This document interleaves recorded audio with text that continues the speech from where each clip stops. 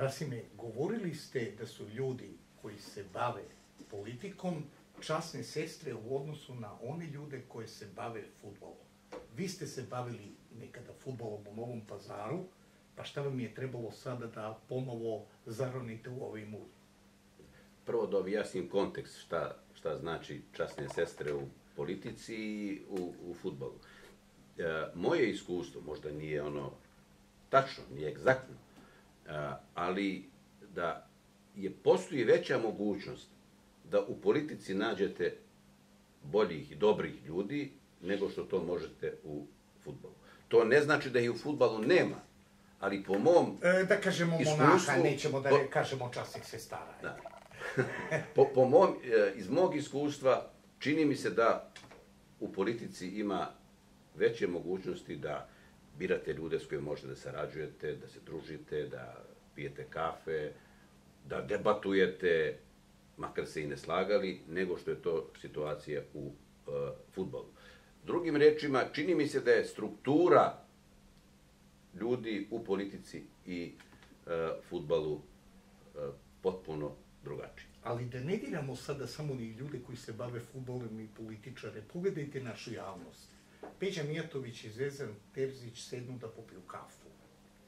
I odmah uzbunu u javnosti. Pa šta su trebali? Da se pobiju, pa da svi budu zadovoljni. Pa, Nije li normalno da Partizanovac i Zvezdaš sednu i prijateljski pričaju? zato što, Kao ja i vi sad, recimo. ja sam o tome često uh, i ranije govorio, nije problem da mi imamo polarizovano društvo po raznim osnovama i to nije ni loše, vrednostnim, političkim, ideološkim, ovakvim ili onakvim. Nema apsolutno monolitnog društva, na kraju krajeva to nije ni dobro, nije ni, ni moguće da se desi.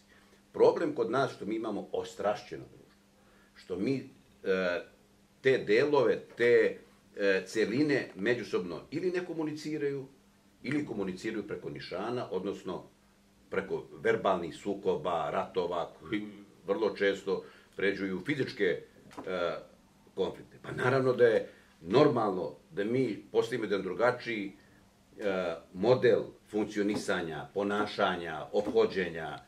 I rekao sam i juče, nama nije potrebno neprijateljstvo sa bilo kim, pa ni sa zvezdom, potrebno nam je zdravo sportsko, futbalsko rivalstvo.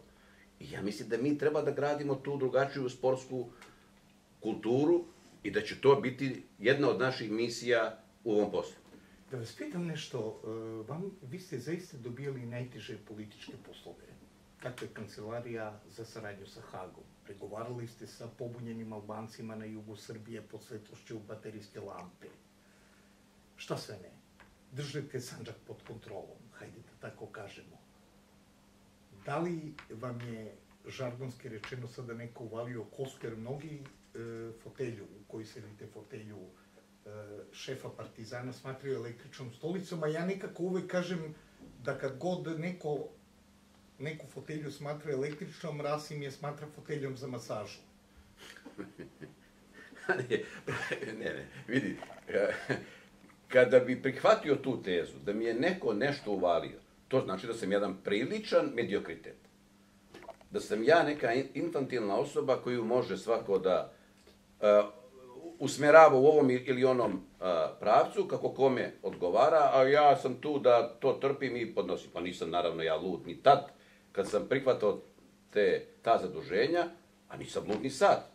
Ma koliko to izgledalo da, da, u ovom trenutku da je, da je ludost. Dakle, ovo posljednje, da ne ulazim sad u, u, u ove političke teme, ovo sad je kombinacija emo, emocionalnosti i racionalnosti.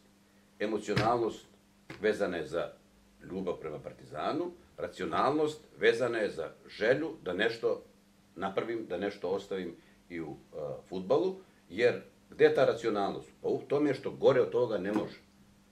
Gore od toga ne može. Ja i da se trudim da bude gore, ono ne može da bude, da, da bude gore. Ja, a siguran sam da ću sa ovim ljudima koje smo okupili napravili, napraviti ovde e, rezultat ili bolje reći napraviti značajni napredak u odnosu na prošla vremena. Eto, to mi je, to mi je motiv.